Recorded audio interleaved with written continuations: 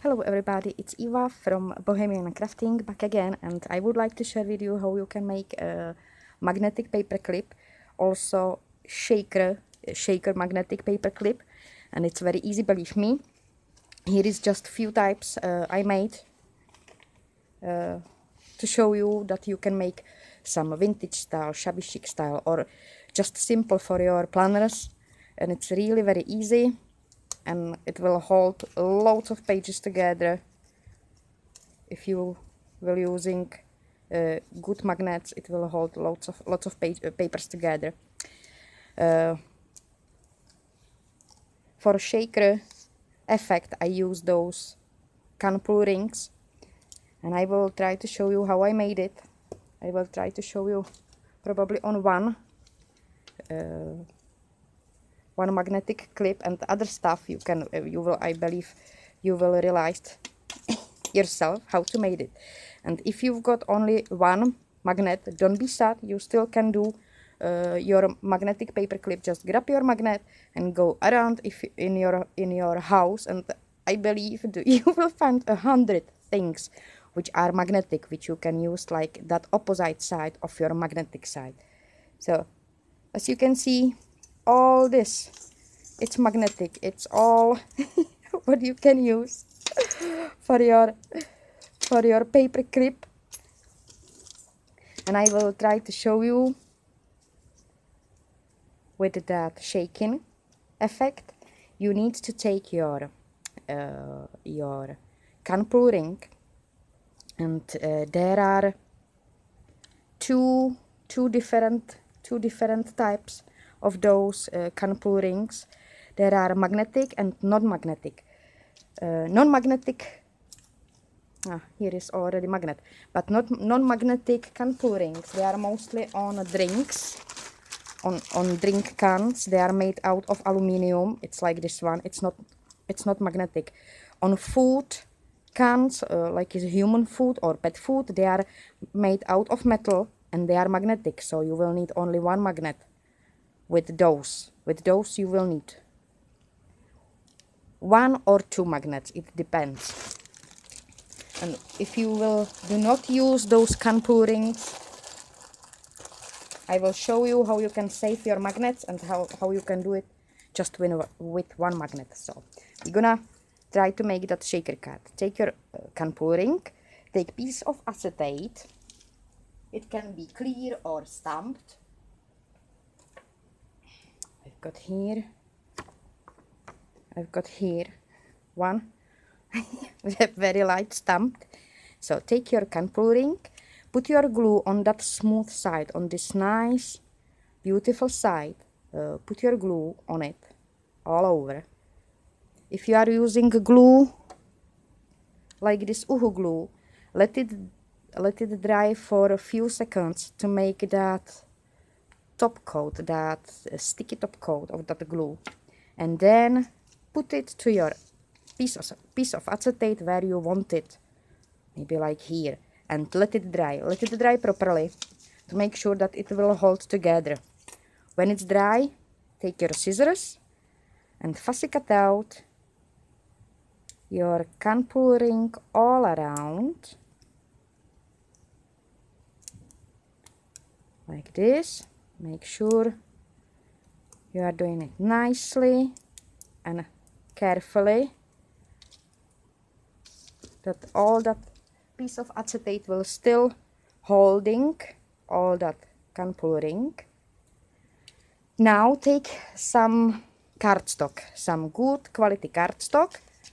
If you don't have good quality cardstock if you've got just some um, lightweight cardstock uh, I would recommend to use on one side uh, some plastic uh, washi tape. I mean something. I mean something like this. Those they will hold. Uh, they will make that card stronger, and it will you you will be sure that uh, those sides will not rip off. So take your uh, piece of cardstock, fold it in size fold it in size of your can pull ring here fold it.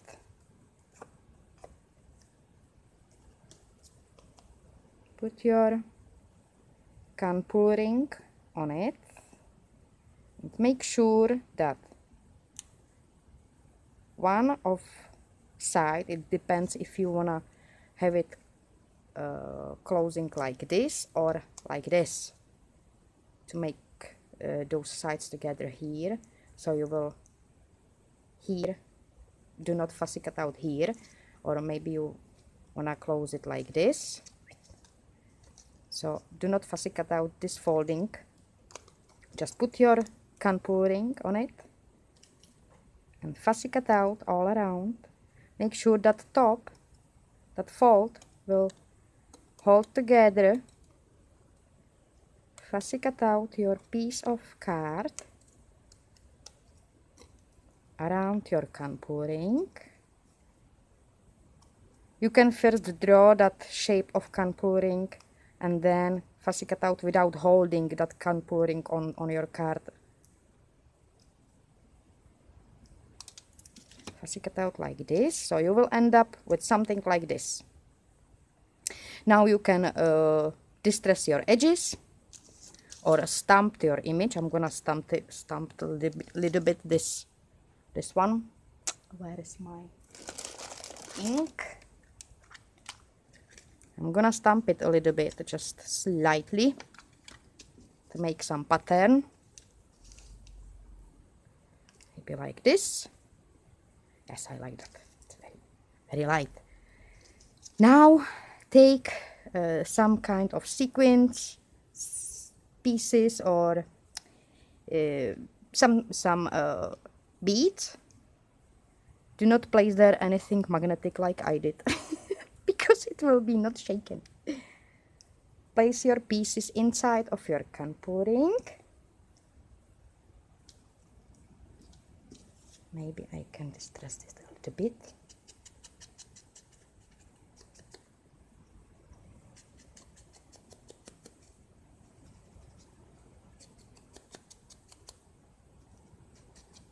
And remember, I am working with that magnetic piece. I'm working now with that magnetic piece.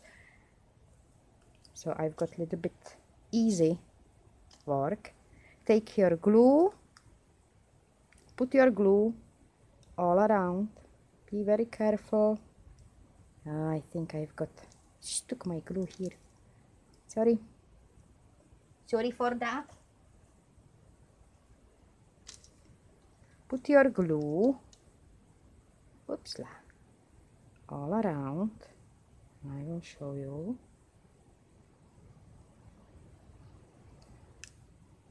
Uh, uh, uh, if you've got the glue like I've got now that it's leaking so heavily. Oops la.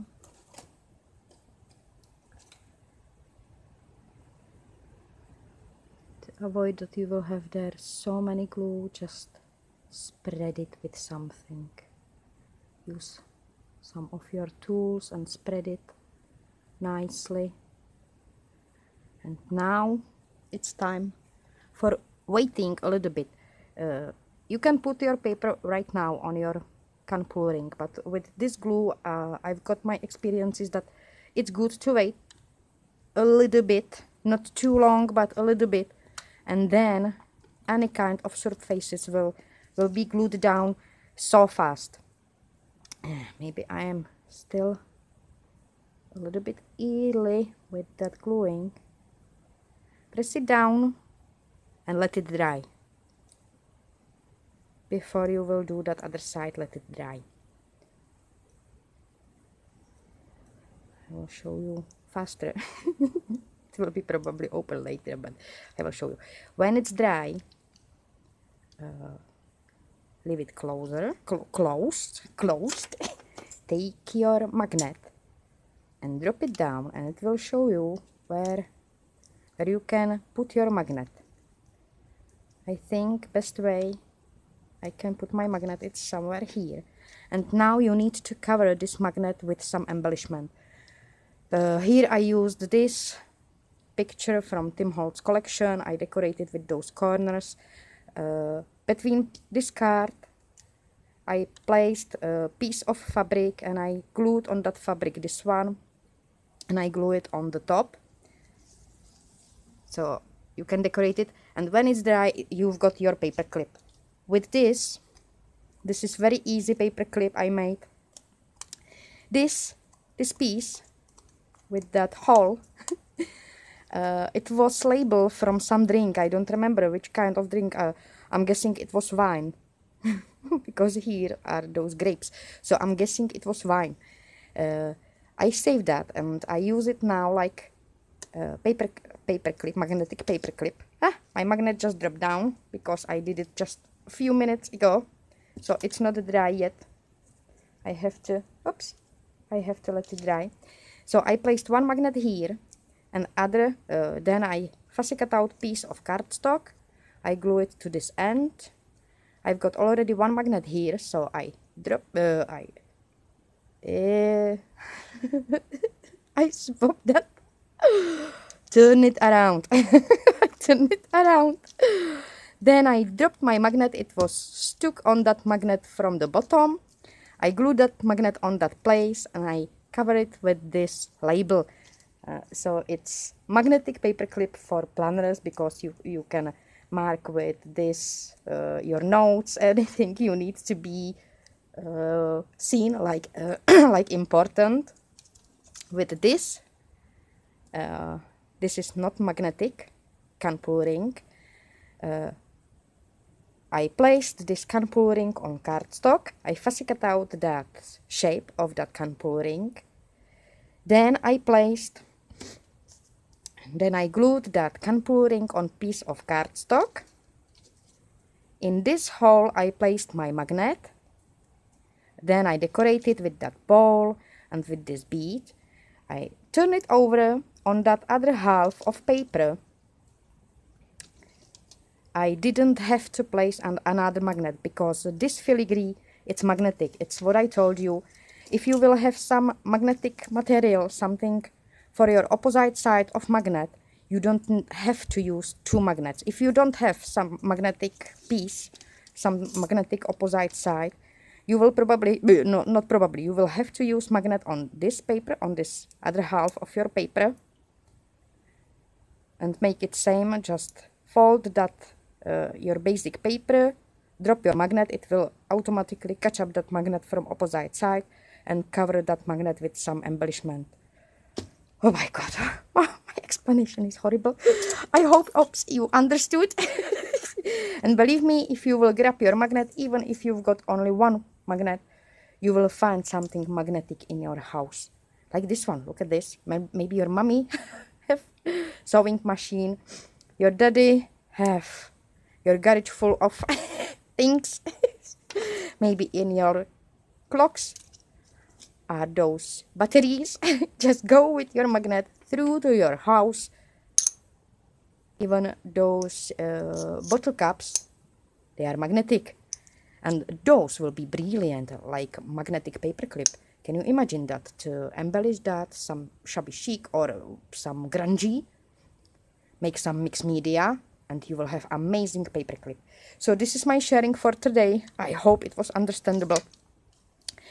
Uh, when you will make, just one small note, when you will make a paperclip with different types of shapes, uh, I will do it now.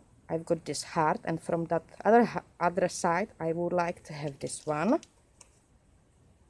So I took piece of cardstock, I fold it, from this side I place that card uh, that heart where I will probably want it to glue it down. So still I've got large space for my magnet. I draw around that shape of my heart. Now I will fussy cut out.